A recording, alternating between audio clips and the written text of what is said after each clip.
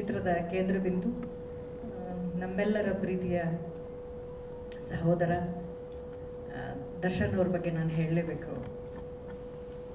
ದರ್ಶನ್ ಅವರು ಉದ್ಭವ ಮೂರ್ತಿ ಅಲ್ಲ. ತುಂಬ ಶ್ರಮಜೀವಿ. ಸಿನಿಮಾ ಶೂಟಿಂಗ್ ಶುರು ಆಗುವಾಗ ನನಗನ್ಸಿತ್ತು ನಾನು ಒಬ್ಬ ದೊಡ್ಡ ಸ್ಟಾರ್ ಜೊತೆ ಕೆಲಸ ಮಾಡಕ್ಕೆ ಹೋಗ್ತಾ ಇದ್ದೀನಿ ಅಂತ. ಸೆಟ್ಟಲ್ಲಿ ನನಗೆ ಒಬ್ಬ ಒಳ್ಳೆ ಕಲಾವಿದನ ಜೊತೆ ನಾನು ಕೋ ಆರ್ಟಿಸ್ಟ್ ಆಗಿ ಕೆಲಸ ಮಾಡ್ತಾ ಇದ್ದೀನಿ ಅಂತ.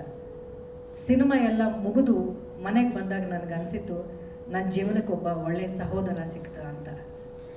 ಆ ಥರದ ಒಂದು ಪ್ರೀತಿ ನಮ್ಮೆಲ್ಲರ ಮೇಲೆ ಅದೇ ಥರದ ಒಂದು ವಾತ್ಸಲ್ಯ, ಸಿನಿಮಾ ಸೆಟ್ಟಲ್ಲೂ ಕೂಡ ಅಷ್ಟೇ, ತೆರೆ ಮೇಲೂ ಕೂಡ ಅಷ್ಟೇ. ಯಾವುದೇ ಒಂದು ಸೀನ್ ನಡೀತಾ ಇರಬೇಕಾದ್ರೆ ಅವ್ರು ಹೇಳ್ತಾರೆ, ಇದು ನಿಮ್ಮ ಸೀನು ಅಂತ. ಇದು ನಿಮ್ಮ ಡೈಲಾಗು ಅಂತ. ಅವ್ರಿಗೆ ಯಾವ ಕಲಾವಿದರಿಗೆ ಎಷ್ಟು ಸ್ಪೇಸ್ ಕೊಡಬೇಕು ಅಂತ ಗೊತ್ತು.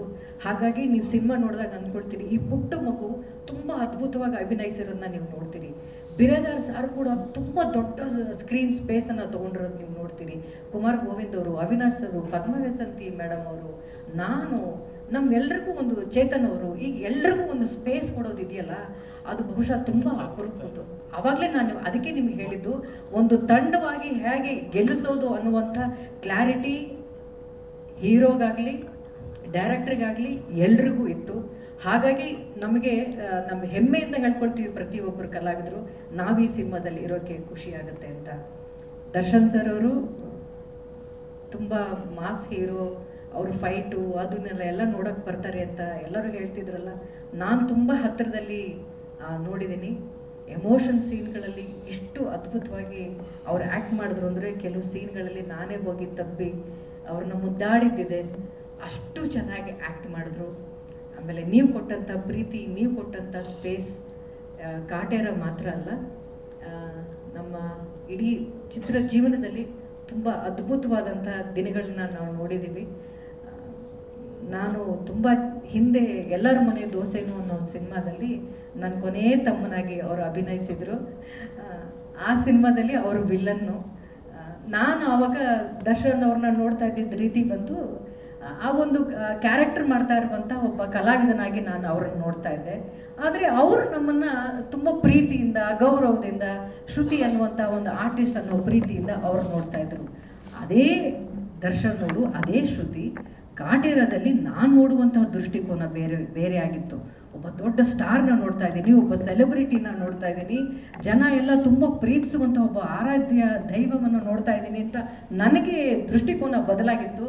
ಆದರೆ ಅವರಿಗೆ ಆ ಎಲ್ಲರ ಮನೆ ದೋಸೆಯಲ್ಲೂ ನೋಡ್ತಾ ಇದ್ದಂಥ ಒಬ್ಬ ದರ್ಶನ್ ಅವರಿದ್ದಾರಲ್ಲ ಅದೇ ದರ್ಶನ್ ಅವ್ರನ್ನ ಇದೇ ಕಾಟೇರದಲ್ಲಿ ನೋಡಿದೆ. ಅವ್ರು ನೋಡ್ತಾ ಇದ್ದಂಥ ಪ್ರೀತಿ, ಅವ್ರು ಕೊಡ್ತಾ ಇದ್ದಂಥ ಗೌರವದಲ್ಲಿ ಯಾವುದೇ ವ್ಯತ್ಯಾಸ ಆಗಿರಲಿಲ್ಲ. ಈ ಇದೇ ಅಲ್ವಾ ಒಂದು ಬೆ ಬೆಳವಣಿಗೆ ಅಂತಂದರೆ, ಜನ ನಮ್ಮನ್ನು ನೋಡುವಂಥ ದೃಷ್ಟಿಕೋನ ಬದಲಾಗಬೇಕು. ನಾವು ನೋಡುವಂಥ ದೃಷ್ಟಿ ಬದಲಾಗಬಾರ್ದು. ನಮ್ಗೆ ಅದೇ ಪ್ರೀತಿ, ಅದೇ ಗೌರವವಿರುತ್ತೆ. ಜನರ ಮನಸ್ಸಲ್ಲಿ ನಮ್ಮನ್ನು ನೋಡುವಂಥ ದೃಷ್ಟಿಕೋನ ಬದಲಾಗಬೇಕು. ಆ ಎತ್ತರಕ್ಕೆ ಅವರು ಇವತ್ತು ಬೆಳೆದಿದ್ದಾರೆ. ಪಕ್ಕದಲ್ಲಿರುವಂಥ ಎಲ್ಲರನ್ನೂ ಬೆಳೆಸ್ತಾ ಇದ್ದಾರೆ.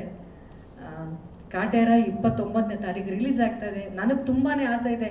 ನಾನು ವೈಯಕ್ತಿಕವಾಗಿ ಸಿನಿಮಾವನ್ನು ತುಂಬ ಪ್ರೀತಿಸೋಳು ಇದು ನಮ್ಮ ಕನ್ನಡತನದ ಸಿನಿಮಾ.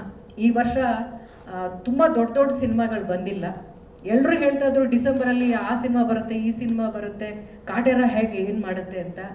ನಾವು ಹೀಗೇನೆ ಆ ಸಿನಿಮಾ ಬರುತ್ತೆ, ಈ ಸಿನಿಮಾ ಅಂತ ಬರುತ್ತೆ ಅಂತ ಹೆದರ್ಕೊಳ್ತಾ ಇದ್ರೆ ನಾವು ಎದುರಿಸೋದು ಯಾವಾಗ ಅಂತ? ಹೆದರ್ಸ್ಬೇಕಾಗಿಲ್ಲ ಎದುರಿಸುವುದು ಯಾವಾಗ ಅಂತ?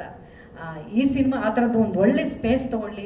ಎಲ್ಲ ಹಬ್ಬಗಳಲ್ಲಿ ಯಾವುದೇ ಭಾಷೆಯ ಚಿತ್ರ ಬಂದರೂ ಕೂಡ ಕನ್ನಡ ಚಿತ್ರರಂಗ ದೊಡ್ಡ ಒಂದು ಬಾಕ್ಸ್ ಆಫೀಸಲ್ಲಿ ಗಳಿಕೆಯನ್ನು ಗಳಿಸುತ್ತೆ ಅನ್ನುವಂಥ ಒಂದು ಸ್ಪೇಸ್ನ ಕಾಟೇರ ಹುಟ್ಟಾಕತ್ತೆ ಅನ್ನುವಂಥ ನಂಬಿಕೆ ನನಗಿದೆ. ಅದಕ್ಕೆ ನಿಮ್ಮೆಲ್ಲರ ಮಾಧ್ಯಮದವರ ಎಲ್ಲರ ಒಂದು ಸಹಾಯ ಬೇಕು ಅಂತ ಕೇಳಿಕೊಂಡು ನನಗೆ ಕೊಟ್ಟಂಥ ಇಷ್ಟು ದೊಡ್ಡ ಸಮಯ. ಸಿನಿಮಾದಲ್ಲಿ ಮಾತ್ರ ಸ್ಪೇಸ್ ಅಲ್ಲ. ಈ ಒಂದು ಪ್ರೆಸ್ ಮೀಟಲ್ಲೂ ಇಷ್ಟೊಂದು ಸ್ಪೇಸ್ನ ಕೊಟ್ಟಿದ್ದಕ್ಕೆ, ತಾಳ್ಮೆಯಿಂದ ಎಲ್ಲರೂ ಕೂತಿದ್ದಕ್ಕೆ ತುಂಬ ಹೃದಯದ ಧನ್ಯವಾದಗಳಂತ ಹೇಳ್ತೀನಿ. ನಮಸ್ಕಾರ. ಪ್ರತಿಕ್ಷಣದ ಸುದ್ದಿಗಾಗಿ Zee Kannada news app download ಮಾಡಿ. Live TV latest updates entertainment lifestyle technology ಸುದ್ದಿ ನಿಮ್ಮ ಅಂಗೈಯಲ್ಲಿ.